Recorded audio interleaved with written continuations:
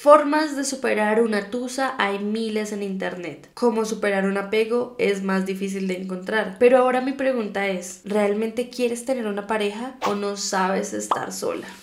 Agárrate la falda y vamos para la calle. En la cruz justa, vamos para adelante. Agárrate la falda y vamos para la calle. En la cruz justa, vamos para. Soy delincuente, yo no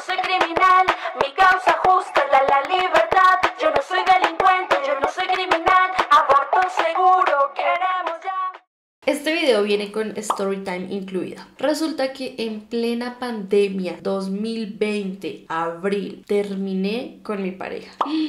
Dios mío, fue un golpe durísimo Tuve que asistir a terapia dos veces por semana y aparte vía online. Literal entré en una depresión tenaz de dos semanas. Yo por supuesto no estoy diagnosticada con depresión y cuando utilizo la palabra depresión es que entré en una tristeza muy terrible, de verdad muy tenaz. Yo solamente quería comer doritos, estar en mi cama acostada, no quería hacer nada. Durante mucho tiempo no me bañaba, solamente me levantaba al baño a hacer chichi y mirar qué había de comer y ya me la pasaba pegada viendo que pasión de gavilanes. O sea, yo no quería dormir, no quería levantarme, no quería hacer nada. Y digamos que esa manera fue la que yo encontré como para distraerme un poco. Esto casi me cuesta el trabajo todo mi aspecto personal estaba hecho un desastre. Yo por supuesto no me levantaba para prender el computador y ponerme a trabajar, o sea, de verdad eso fue para mí un sacrificio poder entregar el trabajo esos días, fue terrible, mis jefes me regañaron muchísimo y todo por qué? Porque estaba en una tusa ni la berraca. Yo ya no le encontraba nada a la vida, solamente quería llorar y llorar y llorar y aparte vivía sola. Pero salí de ahí. Poco a poco entré en la recuperación de cómo lograr empezar a ver la vida de maneras distintas. ¿Qué hago? Me di cuenta de cosas muy, muy importantes que son las que voy a hablar en este video. Como les dije, yo veía dos veces por semana terapia psicológica y cada 15 días veía a mi terapeuta que es con la que sigo hoy en día, que es Tatiana Salazar Bio. Por aquí les dejo el Instagram. La amo con todas las fuerzas de mi corazón. Ella hace terapia de maneras diferentes, es un poquito más disruptiva. Se llama biodescodificación y yo desde que conocí esto no salgo de ahí. Esto es como lo que yo más creo hoy en día y es todo mi espíritu. Porque a mí me trajo muchos resultados. La terapia psicológica que hice me ayudó mucho para poder hablar y desahogarme un montón. Ahí también entendí mucho sobre los apegos, sobre las imitaciones, bueno, muchas cosas psicológicas que vi, me gustaron, pero en definitiva lo que a mí más me llenaba fue hablar con Tatiana. Les digo esto porque cuando todo el tiempo estamos diciendo ve a terapia, ve a terapia, como si fuera la cosa más sencilla del mundo y como si fuera tan fácil ir a, a, contarle tus problemas a un desconocido, sin contar la parte económica, porque sí, es un privilegio muy grande para poder tener los recursos económicos e ir a terapia. La gente sabe que tiene que ir a un psicólogo, pero no cuenta con los recursos y tampoco ha quitado el estigma social de que si vas al psicólogo estás loco. Eso ya lo han, lo han bajado un poquito, pero sé que hay muchas personas que todavía lo siguen creyendo y piensan, yo estoy bien, yo no necesito nada.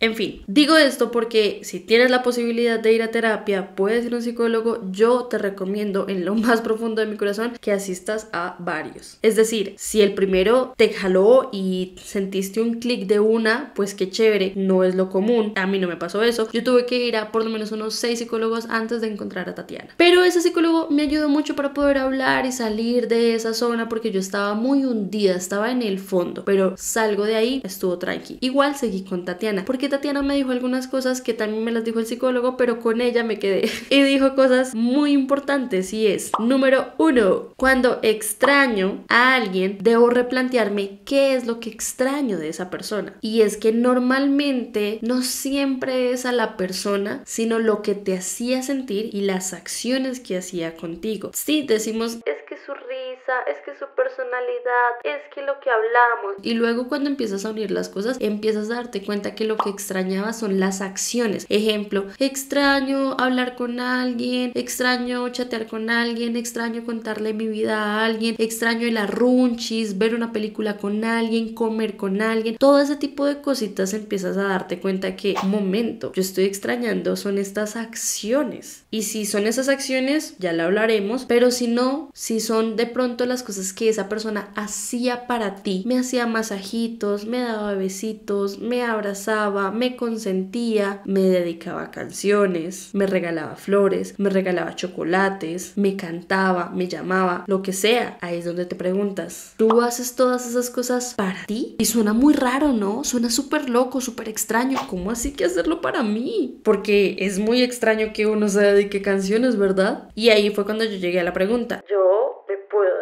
canciones?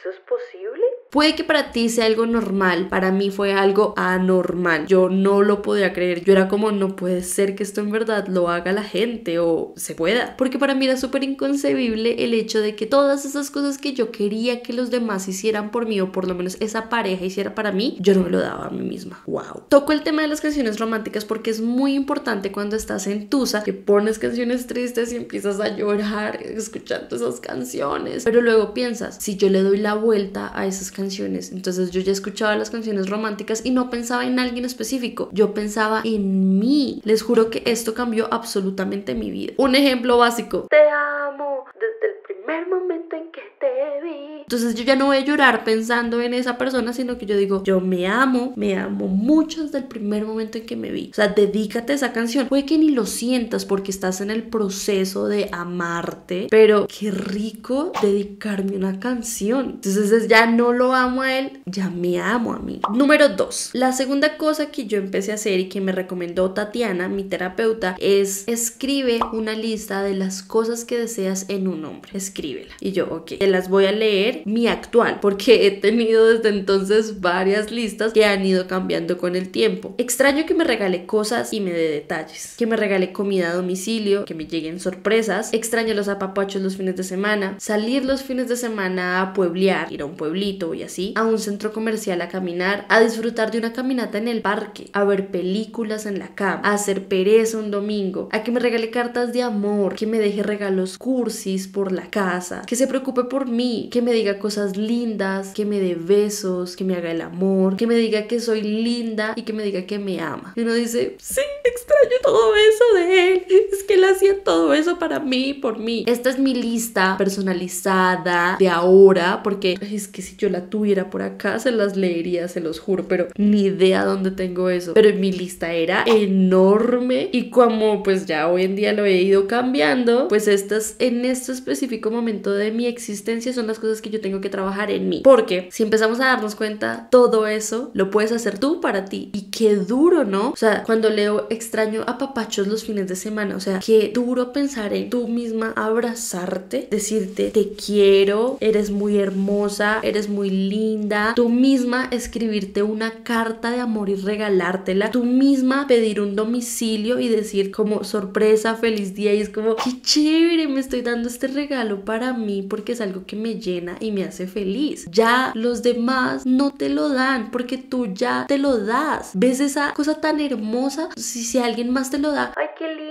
qué hermoso. Pero ya no lo pones en el pedestal porque tú misma lo puedes hacer por ti. Y no, no es algo como, uy, qué triste eso. No, porque es que si lo vemos desde ese punto, entonces siempre estamos esperando que los demás lo hagan porque nosotros nos da pena hacerlo para nosotros. No es triste, es amor propio. Tú no necesitas ninguna pareja que te esté regalando, que te esté dando cosas que tú misma te puedes dar a ti misma. Y ahí volvemos a esa frase de, es que no puedes amar a alguien si no te amas a ti primero. Claro que sí se puede, pero mira desde dónde. O sea, mira de estas poquitas cositas desde dónde se puede ver. Número 3. Esta otra parte también me dio muy duro porque yo pensaba que era algo un poco más normal, pero me di cuenta que no. Y es los silencios, estar contigo misma. Cosa tan brava, oigan. Para mí, que soy un poquito con apego emocional, no soy tan buena estando sola. Hoy en día sí, pero no tanto. Igual ya nunca jamás en la vida. Mentira, probablemente sí, pero ya no es tan fácil que yo vuelva a estar sola por muchos meses porque tengo una hija. El caso, para mí era muy difícil estar sola. En esa época me pasaba algo muy particular. Era pandemia y yo sabía que lo que hacía... Bueno, no sabía, eso me lo dijo el psicólogo. Pero yo no sabía que lo que yo hacía para poder evadir mis sentimientos y mis emociones era irme de fiesta y salir con mis amigos y así me distraía. Pero era plena pandemia. Estás recluida en tu casa. Tú no puedes hacer eso. Yo estaba no puedo salir. ¿A qué te está arrojando eso? ¿A qué te está obligando? A que estés contigo misma, gorda. Que yo no quería ni siquiera escuchar mis propios pensamientos. De hecho, le dije a Tatiana como, ay, qué aburrido Y ella me dijo, ¿es aburrido estar contigo? Si yo lo creo, ¿cómo no lo van a creer otros hombres? Bueno, en mi caso porque soy hetero. Pero ¿cómo no lo van a creer otras parejas si yo creo que conmigo es estar aburrido? Yo no sabía estar sola. Y era tan duro eso que cuando yo salía a hacer las compras de mercado, yo quería llamar a alguien para hablar por teléfono y que me acompañara a hacer el mercado. O escuchar un podcast. O escuchar música y hacer esas cosas tan cotidianas como cocinar, como hacer el mercado, como bañarme. Tenía que estar escuchando algo porque ese silencio era bastante abrumador para mí. Uf. No me malinterpreten con que o la música es mala, o ver series o películas mientras haces otra cosa es malo. No, a lo que me refiero es que yo nunca lo hacía porque no quería escuchar ese silencio, no quería estar conmigo misma. Es decir, para mí era bastante difícil echarme en la cama mirando al techo con mis propios pensamientos. Yo no sabía hacer eso. Yo pensaba que eso no estaba bien, que tenía que estar escuchando algo para no escucharme a mí. Y número cuatro, yo creo que con este vamos a cerrar un poquito para esta tusa y es el autoplacer. ¿Se acuerdan? Yo lo leí en mi lista, que me haga el amor. ¿Cuántas veces tú te haces el amor? Sí, tócate, tócate. Autoestimulación, no hay otra. ¿A ti te gusta que las cosas suavecitas, que la luz tenue, que las velitas, que huela rico, los aromas, las velas, etc. Hazlo para ti. Ojo, también cuando hablo de placer, no solamente me refiero a la parte sexual. También me refiero a que salgas a la calle y cómprate un helado porque tú quieres, porque qué rico comer un heladito, disfrútalo, llénate de placer comiéndotelo y regresa. Esos también son actos de placer. Si te gusta cocinar, hazlo, qué chévere, pero que sea para ti, por ti, no por los demás. No es como que yo solamente salgo a la tienda a comprarme algo y le traigo a los demás. No, para ti. Ve y te comes ese helado sola y no le das a nadie. Estos son actos de amor propio y de individualidad, porque para superar una tusa y para superar un amor es necesario separar